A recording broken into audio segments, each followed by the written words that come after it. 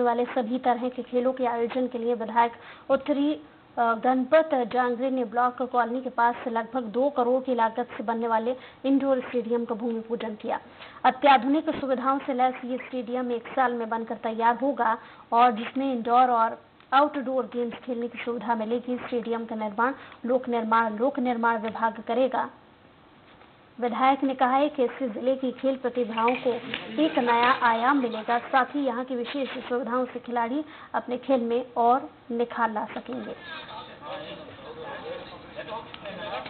आज यहाँ सारंगगढ़ में इंडोर स्टेडियम भूमि पूजन। सारंगगढ़ में कितने लाख का है कितने का है? ये दो करोड़ का है। अब हमें सभी काम में